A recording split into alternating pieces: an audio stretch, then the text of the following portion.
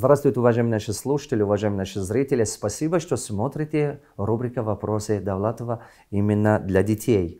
А, эта рубрика для детей мы открыли для того, чтобы помочь большое количество молодежи добиться успеха в жизни, заранее готовиться к той современной мире, к той требованию этого мира, который от нас сейчас жизнь требует. Жизнь от нас сейчас требует намного больше, чем раньше. А, мы хотим быть полезным для молодых. Э, хочу ответить на несколько вопросов. Пожалуйста, всегда э, в комментариях пишите потом свое мнение, свое опыт, свое видение и так далее. Рекомендуйте нашу рубрику своим знакомым, друзьям. Кому, по вашему мнению, э, по вашим взглядам, эта рубрика будет полезной. Мне 14 лет, и я не могу определиться, мне нравится единоборство. Можно сказать, наслаждаюсь, но я не вижу в этом будущего, не смогу покормить, прокормить семью в будущем. Но все вокруг говорят, уже учи английский.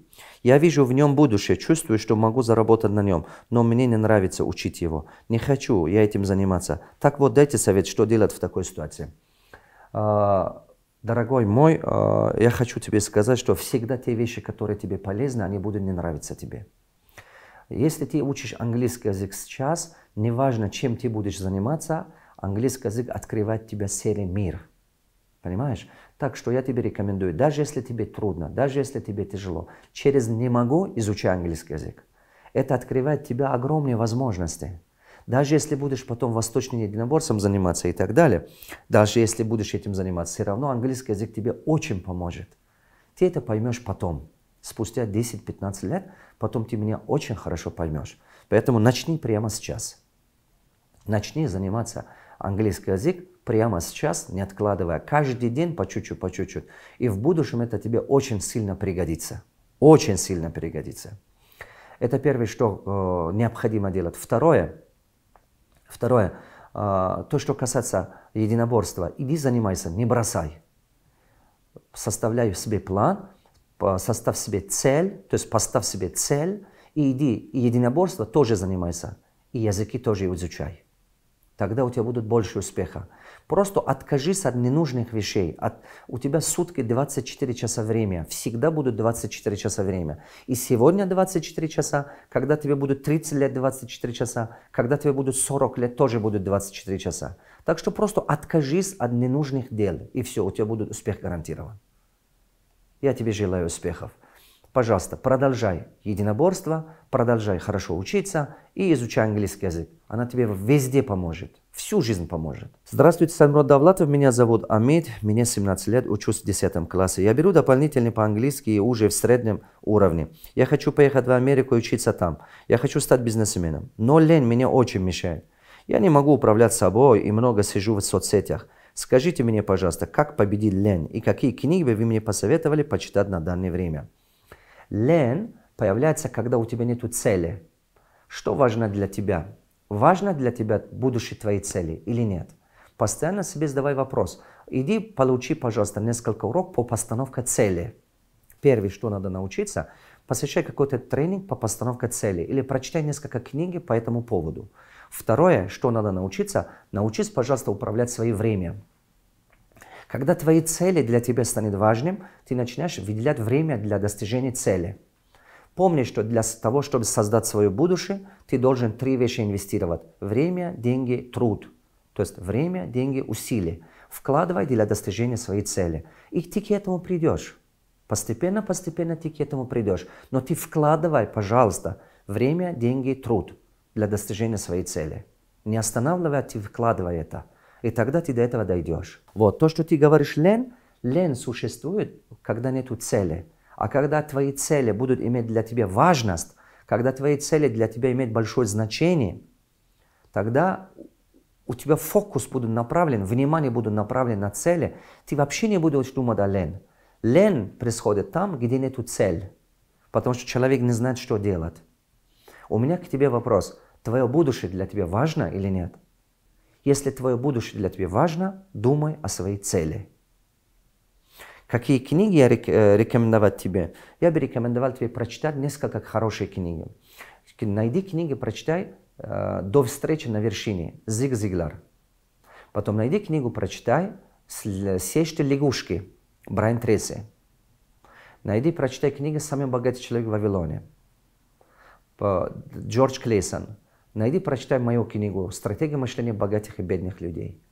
Эти книги тебе очень сильно помогут. Здравствуйте, мне 17 лет. Вы мой вдохновитель, я вас очень уважаю. Спасибо за вашу рубрику. Хотела бы послушать ваше мнение насчет моего бизнеса. У меня интернет-магазин подарков. Начинала с самого низу и выработала очень хорошую репутацию и доход. Месячный прибыль составляет в среднем 100 тысяч сом. Для интернет-магазина, думаю, это очень даже хорошо. Хочу открыть свой магазин, но боюсь расходов и в том, что могу обанкротиться. Не знаю, возможно, это глупо прозвучит, но я привыкла к тому, что без лишнего расхода зарабатываю и коплю. Хочу купить квартиру, у меня есть немного капитал. А, и сейчас задумываюсь, покупать квартиру или открыть свой магазин. То есть покупать квартиру или открыть свой магазин. Что вы посоветуете? Дорогая моя, если у вас хорошо дела по интернету пошло, продолжайте так. Не надо делать расходы. Стоит, чтобы вы офлайн магазин открыли, а, у вас расходы пойдут пока она вам не нужна. Вот как у вас дела идет по интернету, его продвигайте. Продвигайте его, пока офлайн магазин не откройте. Потому что у вас будут, тут же пойдет зарплата, расходы и так далее. То сумма, которую вы сейчас зарабатываете, вы будете тратить. Поэтому у вас хорошо получается интернет, просто увеличивайте э, трафику, увеличивайте, э, скажем, поток людей, увеличивайте ассортимент, попробуйте, пожалуйста, э, расширяться именно в платформа интернета. Вот в чем вы хорошо понимаете, в чем вы хорошо зарабатываете, там и развивайтесь. А для интернет-магазина вам не надо держать большой ассортимент и большой магазин и большой склад. Так что, поэтому это вам выгодно. Так что продолжайте делать то, что вы делаете сейчас. Если вы очень сильно захотите потом, например, в этом направлении, которое вы сейчас делаете, подарки и так далее, когда достигаете определенного уровня и видите, что потолок достигли, дальше уже тяжело вам отправлять других стран и так далее, и так далее, тогда вы можете какой-то еще дополнительный продукт добавить, ассортимент просто добавить. Но пока продолжайте делать то, что делаете вы сами. На заработанные деньги э, просто наоборот положите, а если, то есть увеличивайте свой оборотные средства – Пока не открывайте офлайн магазин и пока не покупайте квартиру, если ваш бизнес нуждается оборотных средствах.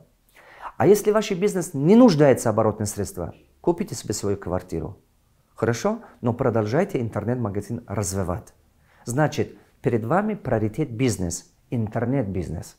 Вложите деньги сначала туда, если ваш бизнес нуждается деньгами, то есть оборотные средства, если нуждается. Если не нуждается, тогда купите квартиру. Хорошо? Это будет правильное решение. Вот. Когда дойдете до хорошего уровня, можете потом добавить новый ассортимент, еще больше и так далее, и так далее. У вас бизнес будет расширяться, расширяться в платформе интернете. Интернет это будущее. У вас получается меньшими расходами зарабатывать деньги. Так что делайте. Вам 17 лет, вы зарабатываете 100 тысяч сом, это очень хорошо. Я поздравляю вас, вы молодец.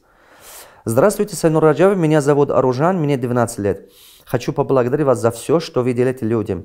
За то, что пишете такие прекрасные книги, что помогает людям. У меня вопрос к вам. Как мне раскрыть свой творческий потенциал? Всегда нравилось танцевать.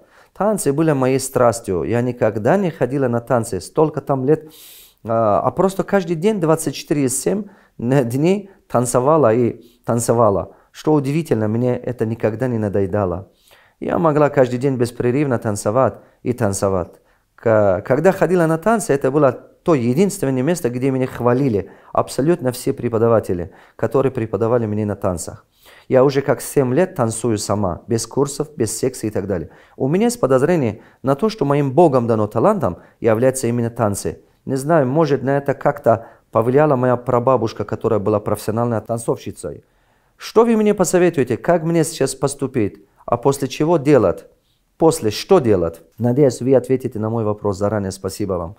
А, Аружан, дорогая, а, иди, пожалуйста, пожалуйста, учись где-то, где, где обучают профессиональный танц. Иди учись, где обучают профессионально танц. Учи, пожалуйста, танцу, а потом открывай свою школу, открывай свою секцию. Сначала ты станешь профессионалом в этом сфере, а потом создашь себе имя, а, как виде участия, не знаю, каких-то там международных там фестивалях и так далее, и так далее, создаешь себе имя, Это займет тебе, может быть, один, два, три года время. И параллельно, а, пожалуйста, открывай свою секцию. Создай свою школу танцев. Есть люди, которые любят, хотят учиться танцы. И, пожалуйста, обучай этому. Ты будешь зарабатывать на того, то, что ты любишь, то, что ты живешь, то, что ты не устаешь, то, что тебе вдохновляет. Будь счастлива. Принеси через танцы радость людям. Вот и все. Это культура, это искусство. Делай это. Вот. Займись этим. Тогда у тебя будут и любимое дело, и у тебя будет, э, скажем, счастливая жизнь. Дорогие друзья, в комментариях напишите свое мнение. Уважаемые дети, практикуйте, задавайте актуальные вопросы, всегда буду отвечать. Пожалуйста, своим друзьям, знакомым э, направьте, пожалуйста, нашу рубрику, э, пусть они тоже послушают, пусть получают пользу. Желаю вам успехов!